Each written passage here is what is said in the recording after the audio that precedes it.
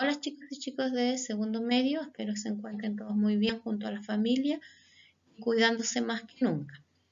Bien, para continuar con este cuarto plan remoto que corresponde al mes de junio y julio, el cual va a estar centrado en, digamos, reforzar contenidos fundamentales del año 2019.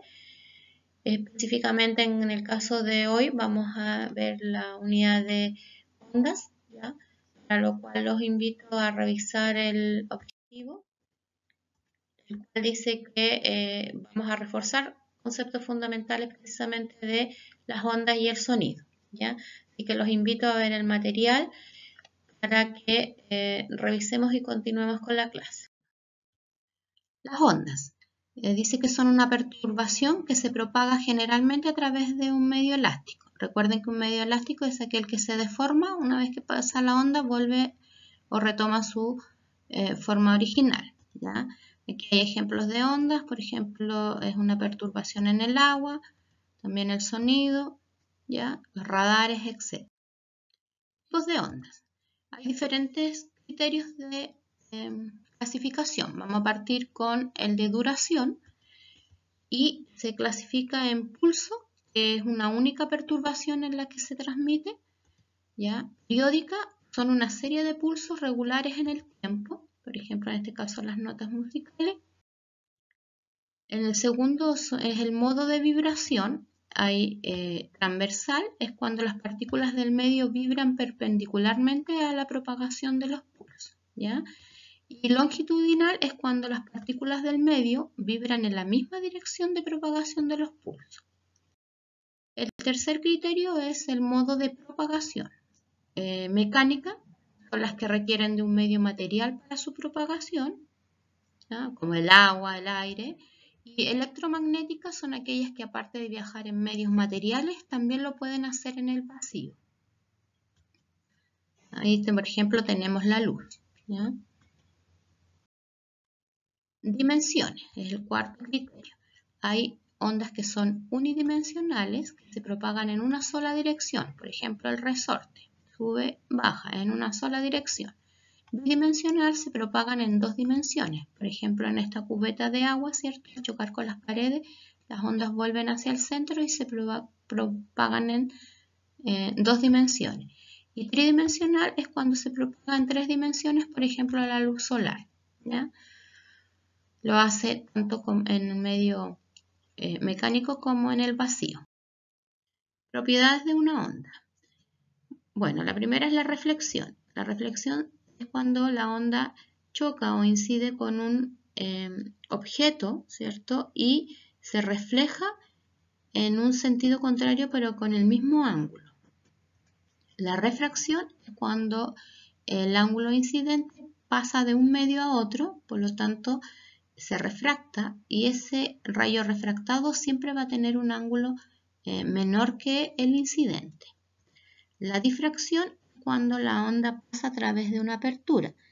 ¿ya? Por ejemplo, si la, eh, mm, apertura es grande, la difracción es poca.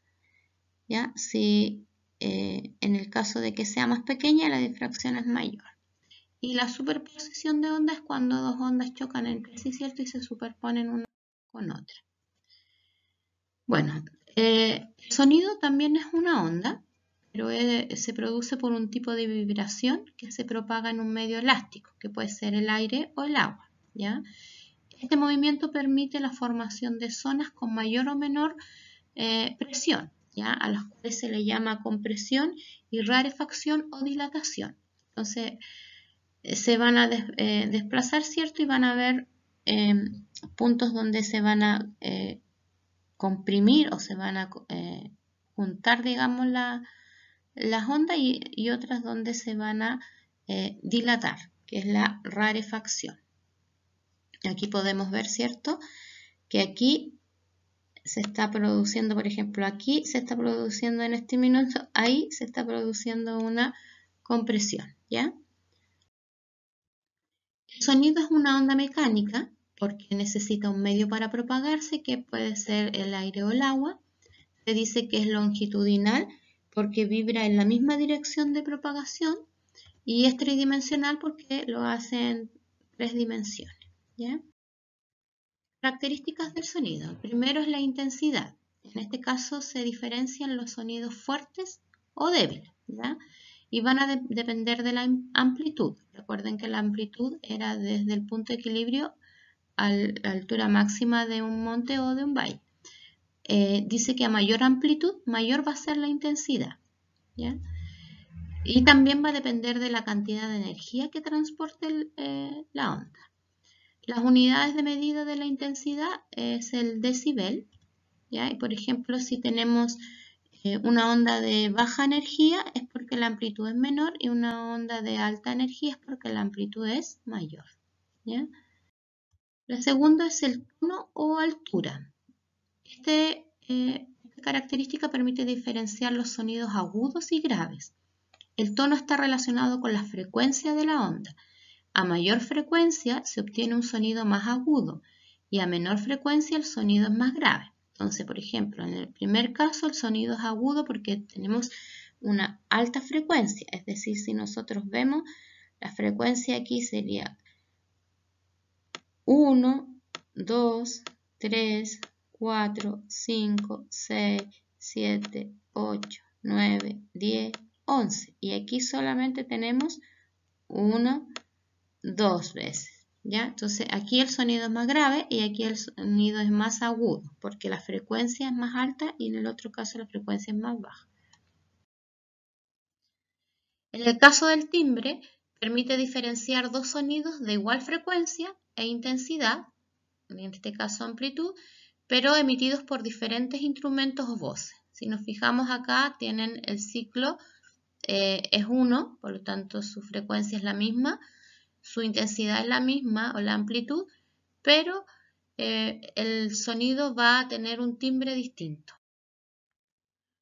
Las propiedades de las ondas sonoras. Bueno, tenemos la reflexión, es cuando una onda sonora que incide sobre una superficie, es decir, choca, y una parte de ella se devuelve al medio, pero cambiando su dirección, y eh, el ángulo incidente va a ser igual al ángulo reflejado. Cuando tenemos la absorción, se produce porque la energía que transporta queda atrapada en la superficie sobre la que incide. Resonancia ocurre cuando la frecuencia natural de un objeto coincide con la de otro que vibra en su cercanía. La difracción se produce cuando éste atraviesa por una apertura, ahí se crea un nuevo foco emisor desde donde el sonido se propaga en múltiples direcciones. La refracción ocurre cuando el sonido atraviesa un medio cuya densidad cambia, por lo tanto el ángulo incidente va a ser diferente al ángulo reflejado. Después tenemos las propiedades de las ondas sonoras. Ahí teníamos la reflexión, teníamos el ejemplo, ¿cierto? Cuando choca se devuelve con eh, el mismo ángulo pero en distinta dirección. También tenemos la absorción, por ejemplo acá hay materiales ¿cierto? que permiten absorber eh, de mejor forma los sonidos que se usan en los estudios de grabación, etc. En este caso, por ejemplo, la onda sonora choca con las paredes, o con el techo en este caso. A veces cuando los techos tienen pluma VIP es una buena forma de absorber parte de, este, de esta onda. Por tanto, aquí en, la absorción, como vemos, eh, se refleja con menor intensidad. La resonancia es cuando, digamos, hay dos Em, en este caso se hace vibrar un, se produce una vibración, en este caso en el diapasón, y hace que vibre el que está cerca, ¿ya? Se transmite, digamos. La difracción es cuando pasa a través de una abertura, por ejemplo, cuando estamos escuchando música en un lugar y pasa a través de una puerta o de una ventana. La refracción es cuando la onda cambia de medio. Y el, ángulo incidente va a ser distinto al ángulo reflejado.